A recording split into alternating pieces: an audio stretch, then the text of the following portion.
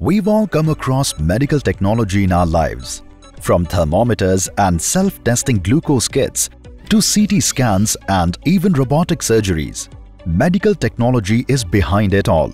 This field of technology has diagnostic and therapeutic equipment focused on early detection, accurate diagnosis, and proper treatment to improve patient outcomes. With new advancements and innovations in medical technology, it is making far-reaching changes in the healthcare industry to save lives everywhere. Are you an engineer seeking to kickstart your career in the field of medical technology? Well, look no further. Skill-Lync presents the Executive Postgraduate Program in Medical Technology. The first part of this program has 8 modules that will strengthen your understanding of concepts and topics at the core of medical technology. In modules 1 and 2, you will learn about the anatomy and physiology of the human body. You will also learn about biosignals and how they can be detected by medical instruments for diagnostic and therapeutic purposes. In modules 3 and 4, you will gain an understanding of IoT and medical informatics in the healthcare industry. These modules will give you an in-depth understanding of IoT applications, telemedicine and how it is used to transfer medical records between medical professionals, departments and hospitals. In modules 5 and 6, you will learn about product design and development as well as the manufacturing process.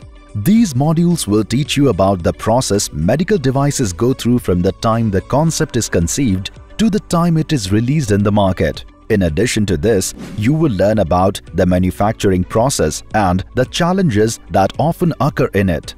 You will be using 3D printing, rapid prototyping and 3D modeling software like SolidWorks to develop novel biomedical products. In modules 7 and 8, you will learn about the regulatory processes as well as the standards and accreditations that certify medical equipment to be sold in the market for clinical applications. After completing these 8 fundamental modules, you can choose to specialize in imaging and radiology, electronics and instrumentation or product design and development. Each specialization has 5 modules. By choosing the specialization in product design and development, you will learn about the life cycle and design process of different medical devices. In Module 1, you will go over the fundamentals of CATIA for mechanical engineers. This module will teach you how engineers use CATIA throughout the biomedical product design and development process. You will get hands-on experience with the software and understand its use at each stage of the process. In Module 2, you will learn about the design for manufacturability of medical technologies. This module will take you through the different methods used to improve design for manufacturability. In Module 3, you will learn about different biomaterials and how they are used in the medical industry for applications like orthopedic implants, stents and biocompatible products. In Module 4, you will learn about medical implants. This module includes in-depth information on the materials used in medical implants, their classifications, the different types of implants and modern trends in the industry.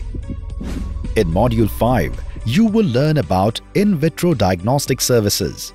This module will elaborate on principles of assay development, analytical instrumentation, preclinical and clinical trials, and IVD regulations. There is so much more packed in these courses. What are you waiting for? Enroll now and become a pro in the field of medical technology.